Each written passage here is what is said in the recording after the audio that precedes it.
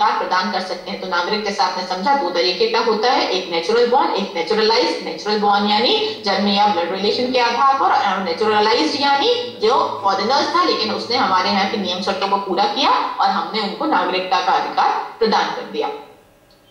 Types of citizen या या criteria of citizenship की अगर हम बात करें तो सबसे पहले जो क्राइटेरिया होता है that is citizenship by birth यानी जन्म के आधार पर, जिसे हम जस्ट सैंग्विनिस कहते हैं। दोबारा हम आपको बता रहे हैं citizenship by birth is referred as just sanguinis यानी एक एक, जो हमारा जो पेरेंट है, एक व्यक्ति है, उसके एक या दोनों पेरेंट यानी उसकी या तो इधर मदर और फादर दोनों में से कोई एक या अगर दोनों एक पर्टिकुलर राज्य के नागरिक है तो वो जो उनका जो वार्ड होगा, उनका जो बेटा या उनका जो बेटी होगी they will be considered as the citizen of any particular country. उन्हें अपने आप के में आ जाएँगे क्योंकि रिलेशन के आधार पर उनको नागरिकता का अधिकार दे दिया जाता है। दूसरा है की कंट्री तो जिसको हम जस्ट सोली के नाम से कहते हैं। पहला आपने क्या देखा? जस्ट सैंग्विनिस यानी ब्लड रिलेशंस के आधार पर अगर हमने यहाँ पे जन्म लिया है, या हमने किसी किसी पर्टिकुलर राज्य में जन्म लिया है और हमारे माँ बाप उस पर्टिकुलर राज्य के नागरिक हैं।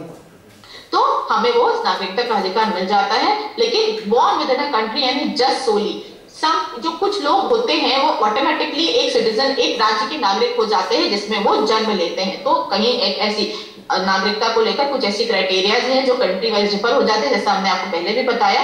तो ये जो जस्ट सोली का कंसेप्ट है, ये कहीं ना कहीं इंग्लैंड में ओरिजिनेट हुआ, जिसमें ये कहा गया कि इस पर्टिकुलर राज्य में जन्म लेने वाला हर व्यक्ति जो है उस राज्य का नागरिक हो सकता है। दूसरी बात हम करते हैं सिटीजनशिप बाय मैरिज बहुत सारी ऐसी कंट्रीज़ में आप देखोगे व्यवस्था है फास्ट ट्रैक नेचुरलाइजेशन प्रोसेस जिसको कहते हैं फास्ट ट्रैक नेचुरलाइजेशन प्रोसेस यानी हमने बोला कि अच्छा हमने क्या देखा कि एक व्यक्ति मतलब एक दो व्यक्ति हैं एक basically two peoples are getting married और इसमें से एक व्यक्ति किसी एक राज्य का नागरिक है और दूसरा व्यक्ति उस राज्य का नागरिक नहीं है तो उसको उस राज्य की नागरिकता दे दी जाती है उनकी मैरिज की सेरेमनी के आधार पर या इस आधार पर कि उन दोनों ने एक साथ लिबर्टल बॉन्ड को शेयर किया है। तो if a person belongs to particular state किसी एक राज्य का नागरिक है तो उसका जो साथी है उसका जो हमसफर है उसको भी कहीं ना कहीं उस राज्य की नागरिकता दे दी जाती है। आप लास्ट क्राइटेरिया है नेचुरलाइजेशन का जो हम आपसे पहले ही डिस्कस कर चुके हैं कि हमने क्या देखा? लीगली वो कंट्री में आते हैं जो फॉरनर्स है वो लीगली कंट्री में आते हैं सारे लीगल प्रोसेस को पूरा करते हैं सारी टर्म्स एंड कंडीशन को एक्सेप्ट करते हैं और कुछ एक स्पेसिफिक टाइम पीरियड के लिए अगर उस पर्टिकुलर राज्य में रह जाते हैं तो उन्हें नागरिकता का अधिकार दे दिया जाता है। अभी वर्तमान परिप्रेक्ष्य में ग्लोबल सिटीजनशिप का जो कंसेप्ट है ग्लोबल वैश्विक नागरिकता की अवधारणा बहुत तेज़ी से आगे बढ़ रही है। तो क्या है ये वैश्विक नागरिकता?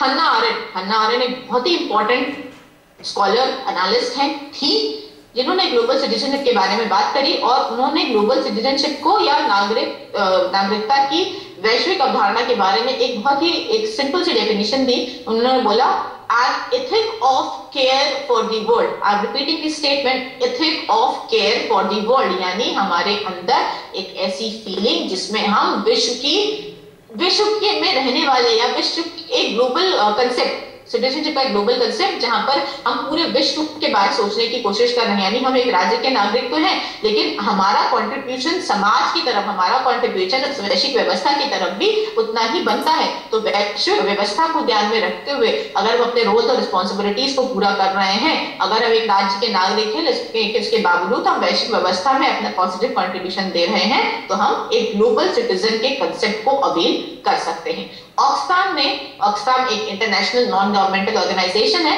ऑक्सफैम ने भी ग्लोबल सिटीजन को डिफाइन करने की कोशिश करी थी। ग्लोबल उन्होंने बोला कि ग्लोबल सिटीजन कौन है? वैश्विक नागरिक कौन है? तो उन्होंने बुलाया कि वैश्विक नागरिक वो नागरिक है जो वाइडर वर्ल्ड को समझता है, यानी वैश्विक परिप्रेक्ष्य को समझता है और अपना कॉन्ट्रीब्यूशन से अपनी जगह उसमें बना सकता है। एक्टिव रोल देना कम्युनिटी में लोगों के साथ मिलकर काम करना, अन्य राज्यों के साथ, अन्य देशों के साथ मिलकर आगे बढ़ना, अपने रोल्स और रिस्पॉन्सिबिलिटीज को समझना और एक सस्टेनेबल वर्ल्ड को क्रिएट करना। अगर हम ये कर पा रहे हैं तो कहीं ना कहीं हम ग्लोबल सिटीजन के कंसेप्ट को आगे लेके जा सकते हैं। आज की चर्चा का जो लास्ट विषय है, वो है सिविल सोसाइटी और स्टेट स्टेट के बारे में हमने आपसे बहुत पहले बात कर ली थी कि स्टेट की अवधारणा क्या है। स्टेट एक ऐसा कंसेप्ट है जो कि एक जो, एक वाइडर कंसेप्ट है। एक लेकिन वो एब्स्ट्रैक्ट कंसेप्ट है। तो स्टेट को एक कॉन्क्रीट फॉर्म प्रोवाइड करने के लिए गवर्नमेंट के बारे में बात की गई। लेकिन जो स्टेट को लेकर जुड़ा कंसेप्ट है, वो है सिविल सोसाइटी फिर से जब हम सिविल सोसाइटी की बात करते हैं तो सिविल सोसाइटी का का कंसेप्ट लॉक और रूसो के बारे में, के पास से आया था। उन्होंने बोला कि अगर सोशल कॉन्ट्रैक्ट व्यवस्था के बारे में बात कर रहे हैं, जिसके माध्यम से राज्य की उत्पत्ति हुई थी तो उसमें सिविल सोसाइटी का रोल भी अत्यंत आवश्यक है। और सिविल सोसाइटी क्या है?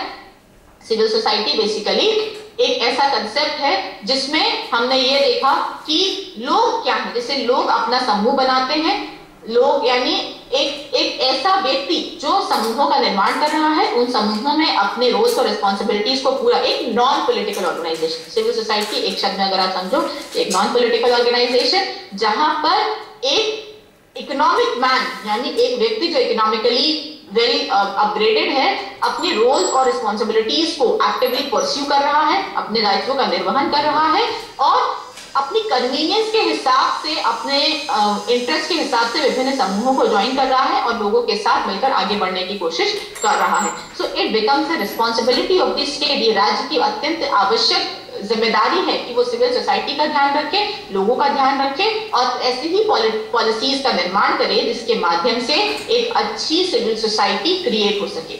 चार्ल्स टेलर ने सिविल सोसाइटी को डिफाइन करने की कोशिश करी थी, जिसमें उन्होंने बोला कि सिविल सोसाइटी क्या है?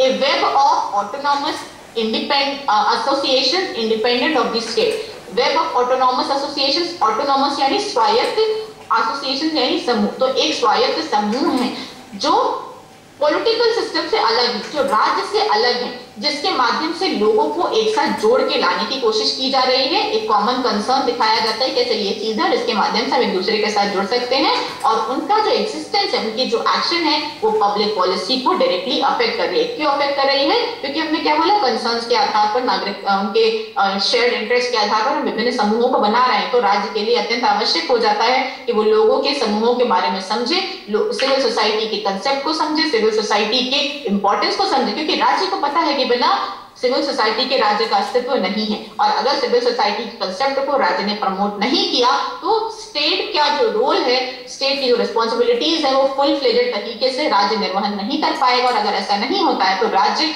अपने जो जिस जिस कंसेप्ट को लेकर राज्य की उत्पत्ति हुई, उस राज्य की उत्पत्ति को को कहीं ना कहीं या तो वो वैलिड नहीं रह जाएगा, एक नलिफाई कंसेप्ट हो जाएगा तो सिविल सोसाइटी की इंपॉर्टेंस बहुत है, राज्य के लिए भी, और नो एक डुअल आप कह सकते हो कि एक डुअल प्रोसेस हो रहा है, जहाँ पर राज्य जो है वो सिविल सोसाइटी को समझने की कोशिश कर रहा है, और उनके इंटरेस्ट और कंसर्न के आधारित पर ही कहीं ना कहीं एक सामाजिक व्यवस्था का निर्माण कर रहा है, जिससे कि सभी व्यक्तियों को राज्य की व्यवस्था से जोड़कर रखा जा सके, और साथ ही हम क्या देख रहे हैं सिविल सोसाइटी भी स्टेट के बारे में सोच रहा है, क्योंकि जब लॉ और रूसो ने सिविल सोसाइटी के बारे में बात करी तो उन्होंने बोला कि सिविल सोसाइटी एक ऐसा कंसेप्ट है जहाँ से हम लोगों को निकालेंगे। सोशल कॉन्ट्रैक्ट में हमने क्या देखा, एक ऐसा कॉन्ट्रैक्ट हुआ जिसके माध्यम से लोगों ने स्वीकार किया कि हम अपने पर प्रशासनिक व्यवस्था को स्वीकृति दे रहे हैं। लेकिन वो प्रशासनिक व्यवस्था बनी किससे? वो प्रशासनिक व्यवस्था बनी इस नागरिक समाज से। नागरिक समाज की अवधारणा आज की नहीं है। नागरिक समाज की अवधारणा बहुत वर्षों से चली आ रही है, लेकिन आज के कंटेम्प्रेरी पर्सपेक्टिव में नागरिक समाज की अवधारणा अत्यंत आवश्यक हो चुकी है, क्योंकि पब्लिक पॉलिसी में डिसीज़न मेकिंग में गवर्नमेंट की एक्टिविटीज़ में स्टेट के एग्जिस्टेंस को बनाने में, और नागरिकों को उनकी रोल्स और रिस्पॉन्सिबिलिटीज को समझाने में ये जो कंसेप्ट है, अत्यंत आवश्यक है राज्य के लिए भी और व्यक्तियों के लिए भी। तो आज के सत्र में हमने आपसे बहुत सारे विषयों के बारे में चर्चा करी। सबसे पहले हमने आपसे अधिकारों के बारे में बात करी और हमने आपको समझाने की का प्रयत्न किया कि अधिकार क्या है। पॉजिटिव क्लेम्स होते हैं। सबसे पहले जब हम अधिकारों के बारे में बात करते हैं तो ये कहते हैं कि अधिकार क्या है? पॉजिटिव क्लेम्स है। हम जनता से हम सरकार से मांग रहे हैं, लेकिन क्या मांग रहे हैं? कुछ पॉजिटिव चीज़ें मांग रहे हैं। कभी भी नेगेटिव क्लेम्स को सरकार के द्वारा रिकॉग्नाइज नहीं किया जा सकता तो हमने सबसे पहले आपसे सरकार के क्योंकि हमने आपसे अधिकारों के बारे में बात करी कि क्या है, क्यों है, कैसे आए और क्यों आवश्यक है।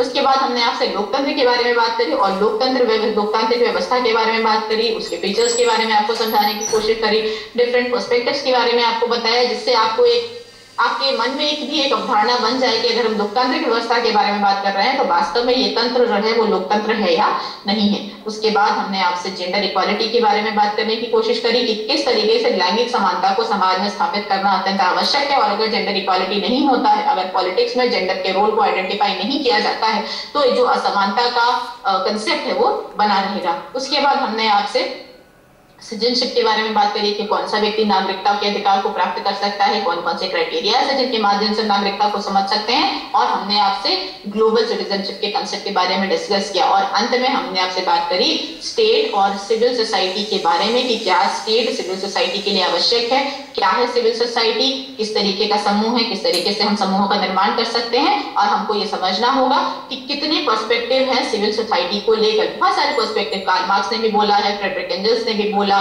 मार्क्सिस्ट पर्सपेक्टिव भी आया सिविल सोसाइटी का तो विभिन्न माध्यम से, विभिन्न कंसेप्ट के थ्रू हमने आपको समझाने की कोशिश करी। तो आज के सत्र में बस इतना ही।